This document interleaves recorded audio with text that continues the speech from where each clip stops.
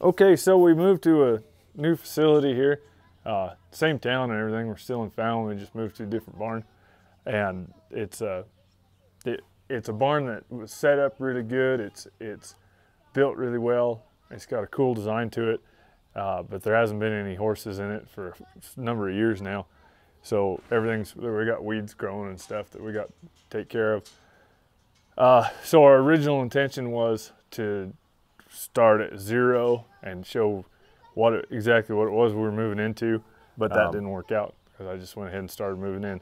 So we'll start out in the saddle house. I'll show you some of the things we got going on there, and and we'll show some other parts of it probably, and and uh, kind of show how this progresses over the next couple weeks. How I change things around, put my groove on it the way I want it, and, and show what's cool about it. Come on in. All right. Um, so part of the deal here is uh, I've got half of the saddle house, and my half starts there-ish, kind of right down this line here. And uh, what I've done here is I've just kind of, I don't even actually have everything in here, but I just was bringing pickup loads at a time and putting it on the floor just to get it over here. It was raining and I don't have everything the way I want it. Today I was doing some groundwork on some colts and in between while they were kind of learning to be hobbled and stuff like that, I was putting stuff away. So I know me, I've known me my whole life. I will end up changing this about 500 times before I before I get the way I want it. You can see there's still stuff strewn on the floor and this and that. Um, and like I said, I don't even have everything moved over yet. But here's kind of the, the basic premises how I'll, I'll set it up. Right in here, I'll have like California style, Vaquero style bits. I've kind of got them separated for the most part. Spade bits, ring bits, leverage bits. Uh, then from there, I've got kind of starting my Tejano style bits, you know, or, or more uh, Midwestern Texas style bits. This is a stack of, of bits that I let Colts hold. These I call these call these dummy bits. You notice most most of them are kind of spades. I talk a lot about um, getting submission in a horse's mouth and, and from holding those those spades. They learn that check out Patreon. I talk about the submission in the horse's mouth and the use of the spade to do it. You notice these are all kind of crude looking spades. I don't want to use the good ones with the silver, but they, they serve the purpose. Uh, these are all all just leverage bits to about here. You know, I've got a I've got a 27 just like everybody else in the world has. Hey, there's a bit that doesn't belong there. I'll have to change that out. Um, got my my two correction bits the only two I've got, and I don't use them very much, so they're kind of over here.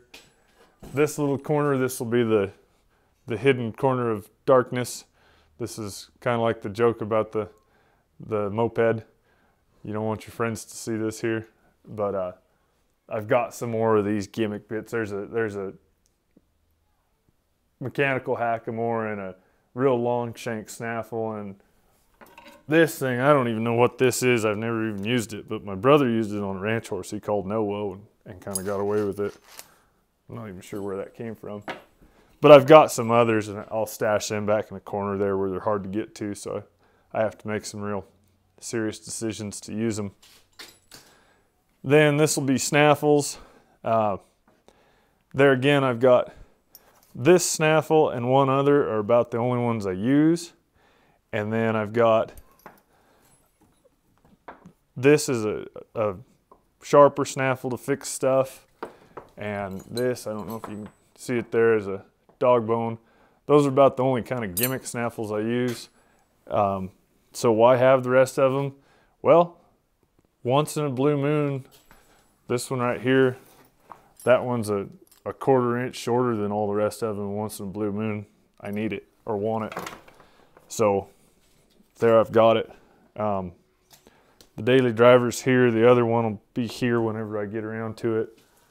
I'll end up swapping these saddles all around. Um, these are kind of the only cowboy saddles I use anymore for, for days I do cowboy. but I'll probably kind of put them over on that end with spade bits because I'm riding broke horses when I'm when I'm doing that most of the time, hopefully. Uh, back here, this is not going to be the permanent home, but these are all the romal reins, and I try to keep them off bits and not not attached all the time. I've got some other some leather ones and some other ones floating around that I don't worry about. But the rawhide ones, I, I try to keep them hung. Um, I'm gonna find me another one of these grapples and, and hang it. And by the way, in the process of hanging these grapples, I literally stuck my hand in a bee's nest, which is right there. And thankfully those bees are cold enough that even the one that fell down my shirt didn't bite me. But yeah, this is not the permanent home for the rawhide reins, but that's where they're at for now. This is the Stack O Hackamores, uh, and believe it or not, there's lots more of them, but these are the ones that get used the most often. Um, that looks like just a random stack of Hackamores, but I could find the one I wanted in the dark. You, you know, you use a tool long enough and, and you just know where it is and you know which one it is. And so I've, I've while that looks real hodgepodge, they're actually hung there in the order that they're most likely to get used. Um, and I like these little grapple deals because you can you can get through them pretty easy. Oh, yeah. well, and even I've got half half a saddle house. Even if I had the whole saddle house, which would be that much more, um, that's not enough space, bridle space for all all the bridles and hackamores and, and things I have. Um, so these grapples are nice because um, you can hang a whole bunch of stuff of one kind of stuff all in one deal. I've got another one that I'll hang that I'll end up hanging the stuff that I use the most often on, um, the snaffle bit and the and the bridles and the the things that I use the very most often. Uh, but we'll get it. This Believe it or not, that's a McCarty that just hasn't been made into a McCarty yet, but that's three pounds of hair. Maybe this winter I'll get around to it. I've only been saying that for five years.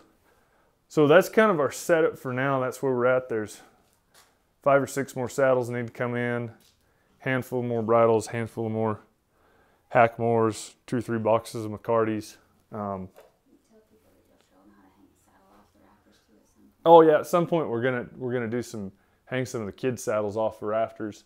So I'll show you how that works. It's a really good way to to um, to put a saddle up if you don't have enough racks, or especially if you've got some serious mouse problems, which we don't in here. But if you do, that's a good way to hang saddles up. Um, and I'll explain when we get to that. The only kind of other thing here, this is a lot of stuff that goes in my box next to my round pin when I get to that. Um, what I thought was cool, and I commandeered one of the hooks off of the side that's not mine to, to put these various quirts that I use. And each of these has it, that's not a quirt obviously, that's a twitch. But I couldn't find another place to put it. But each of these quirts, I've got a different reason for using them. And so I thought it'd be cool to hang it right next to the door here. There, you can see them a little better.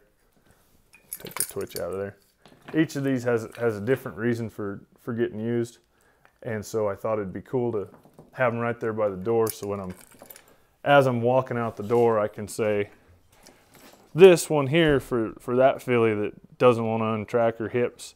You know, this one's just to pop them around a little bit and get them to untrack the hips.